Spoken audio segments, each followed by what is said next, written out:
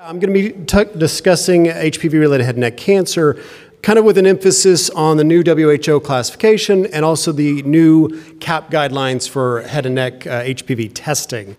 Uh, so, why talk about HPV? I, I, think this is probably obvious, but certainly uh, we hear a lot about this. It's in the lay press, as you see here. Uh, certainly a lot of in, uh, interest in it.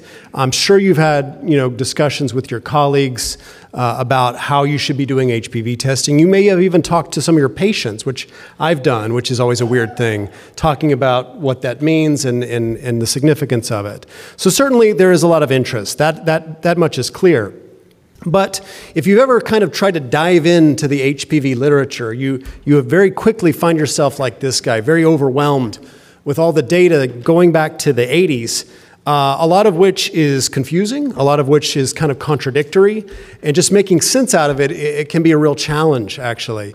So that was kind of the point, the goal of the uh, CAP, uh, kind of putting together a panel of people, uh, of which I was lucky to be a part of, and basically try to come up with some guidelines, you know, some simple, relatively straightforward guidelines that we can all follow uh, and, and make sense of this. So the idea was to take all that data and basically distill it down into some practical recommendations that we can use in our daily practices and not have to go through all that, that data ourselves.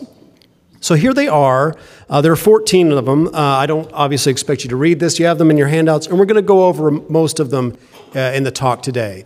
Uh, and they are now out. Uh, still, I think, EPUB ahead of print, but they're definitely available on the uh, Archives of Pathology and Lab Medicine website uh, and I believe also on the CAP website. So you can definitely look at these, at least kind of go over the 14 guidelines and know what they are.